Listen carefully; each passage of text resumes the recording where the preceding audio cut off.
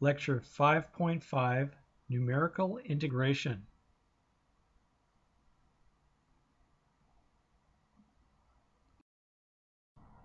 Using integrals to find area works extremely well as long as we can find the antiderivative of the function.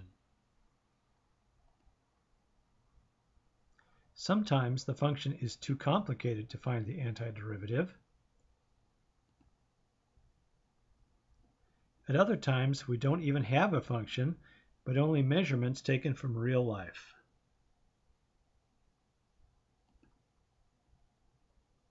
What we need is an efficient method to estimate area when we cannot find the antiderivative.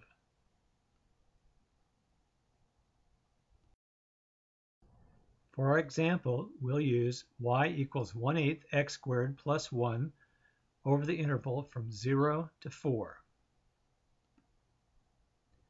The actual area under the curve can be found by taking the integral from 0 to 4 of 1 8 x squared plus 1 dx, which is 1 24th x cubed plus x evaluated from 0 to 4, or 20 thirds, which is 6.6 repeating.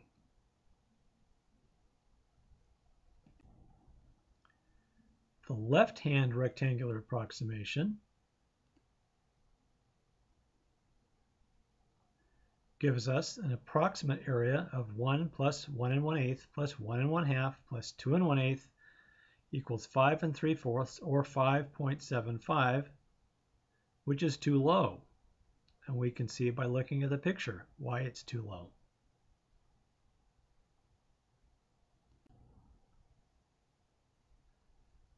The right-hand rectangular approximation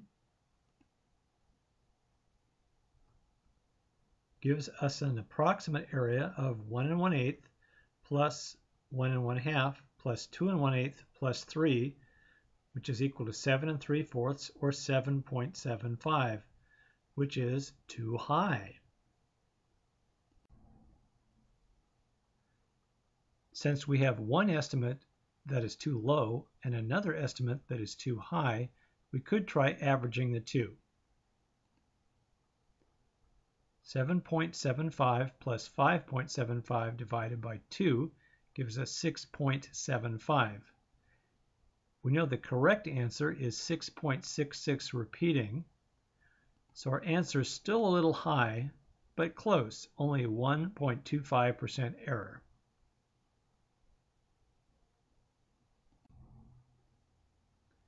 Averaging right and left rectangles gives us trapezoids.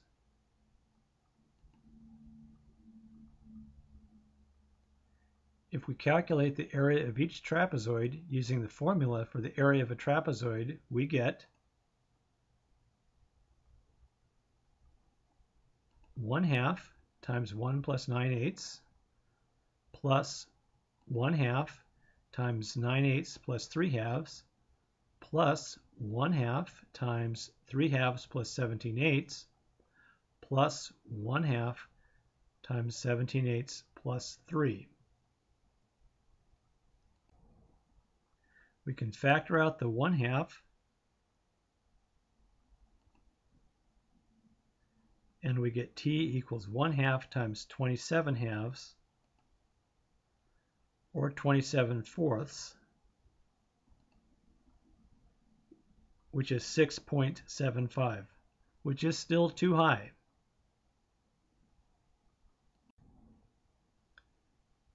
This is the trapezoidal rule.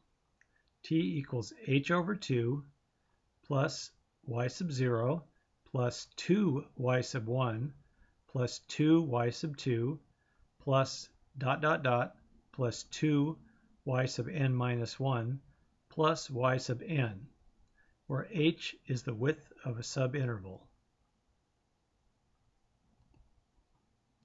This gives us a better approximation than either the left or right rectangles.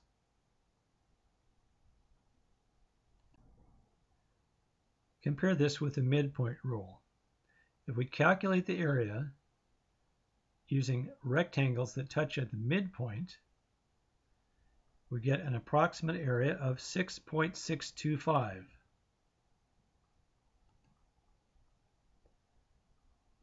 which is a 0.625% error, which is too low. The midpoint rule gives us a closer approximation than the trapezoidal rule, but in the opposite direction.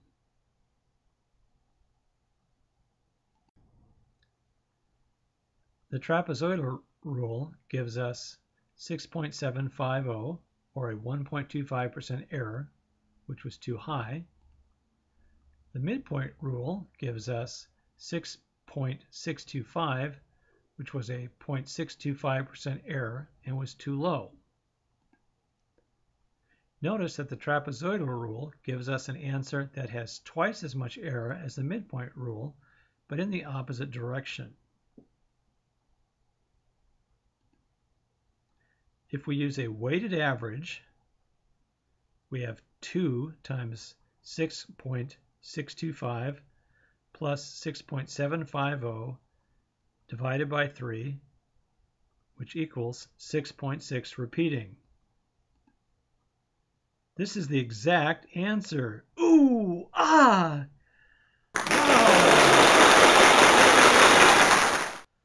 Okay, you're supposed to be impressed.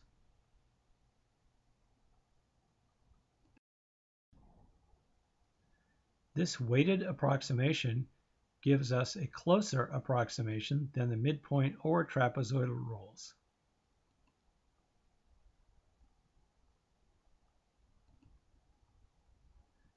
If we use the midpoint rule here, m would be 2h, which is the width of a subinterval, times y1, which is this height right here, plus 2h times y3, and factoring out a 2h, we get 2h times y1 plus y3.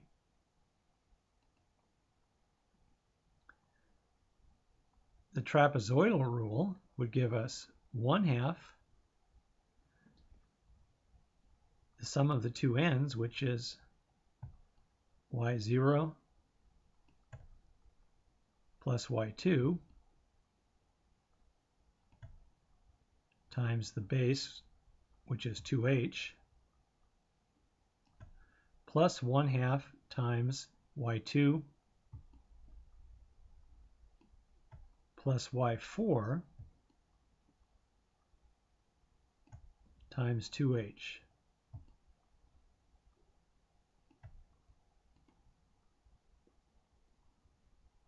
The 2's cancel, so we get t equals h times y sub 0 plus y sub 2 plus h times y sub 2 plus y sub 4. Factoring out an h, we get t equals h times y sub 0 plus 2y sub 2 plus y sub 4. Now, finding the weighted average using 2m plus t over 3, we get 1 third times 4h times y1 plus y3 plus h times y sub 0 plus 2y sub 2 plus y sub 4. So we have twice the midpoint plus a trapezoidal. Eliminating the parentheses and factoring out an h, we get h over 3 times 4y1 plus 4y3 plus y0 plus 2y2 plus y4.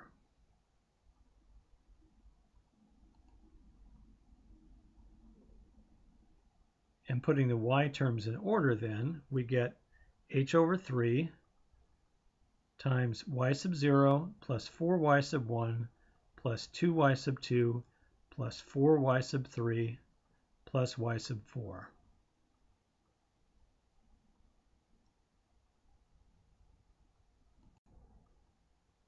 Simpson's rule. S equals h over 3 times y sub 0 plus 4y sub 1 plus 2y sub 2 plus 4y sub 3 plus dot dot dot plus 2y sub n minus 2 plus 4y sub n minus 1 plus y sub n, where h equals the width of a subinterval and n must be even. Now notice that the coefficient of the first term is 1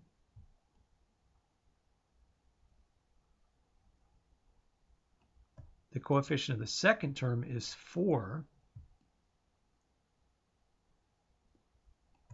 And then we alternate 2's and 4's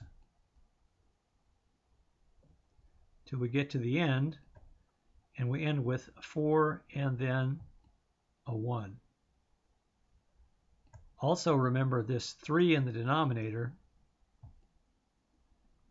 is because we used a weighted average to develop the formula. Here's an example. For y equals 1 8 x squared plus 1, s would be 1 third times 1 plus 4 times 9 eighths plus 2 times 3 halves plus 4 times 17 eighths plus 3,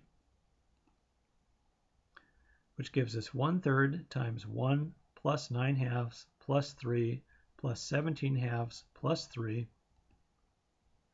or one third times 20,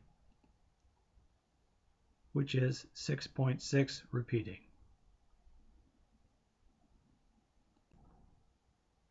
Simpson's rule can also be interpreted as fitting parabolas to sections of the curve, which is why this example came out exactly. Simpson's rule will usually give you a very good approximation with relatively few subintervals. It is especially useful when we have no equation and the data points are determined experimentally.